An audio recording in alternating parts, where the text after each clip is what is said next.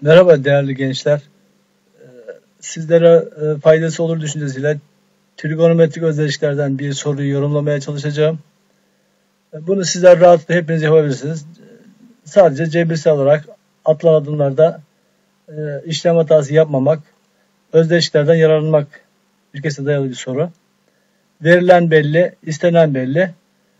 İsteneni bilmeye bulmaya çalışacağız. Mantığını şöyle açıklayabilirim. İstenen cümle üzerinde verilenleri kullanacağız, giydireceğiz. Böylece bir cevaba varacağız. Peki ben kısalık olsun diye şunu yapmak istiyorum. Sinüs teta cümlesini sadece S ile kosinüs teta cümlesinde sadece C ile göstererek yazımda kısalık olsun. E, o halde istenen cümleden başlıyorum. C üzeri 6 eksi 4 C üzeri 4 artı 8 C karenin ne olduğunu sormuş. Ben bu istenen cümleyi c kare parantezine alarak yola çıkıyorum.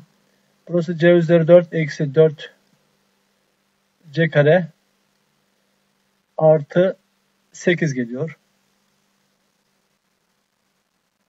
Sonra buranın tam kare olduğunu rahatlıkla herkes görebilir. Burası c kare parantezinde e, c kare eksi 2'nin parantez karesi artı 4 diye yazabiliriz.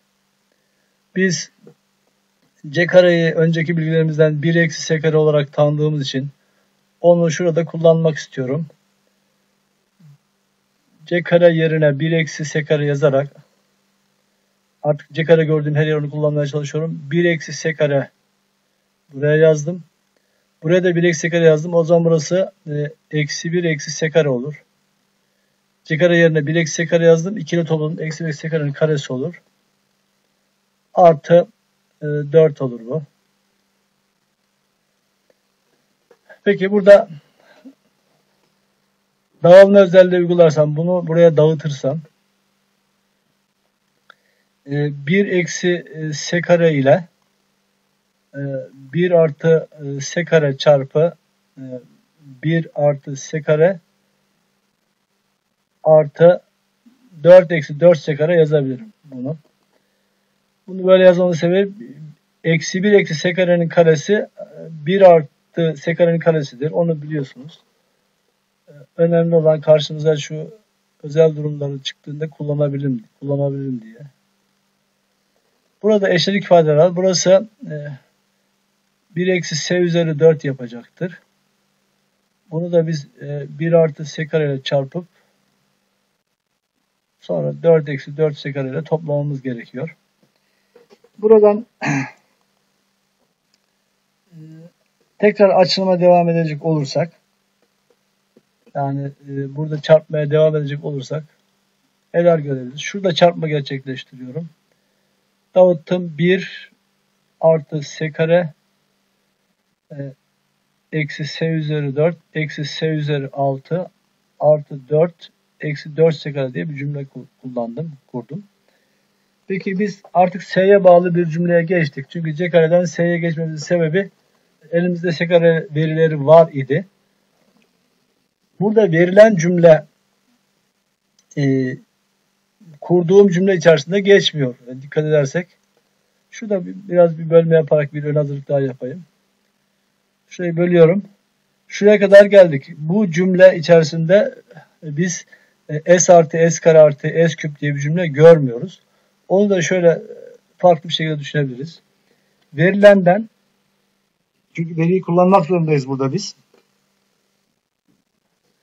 Ee, S artı S kübü yalnız bırakıp şuradaki ifadede S artı S kübü sol tarafta bırakıp sağ tarafa 1 eksi S kare yazabilirim ben.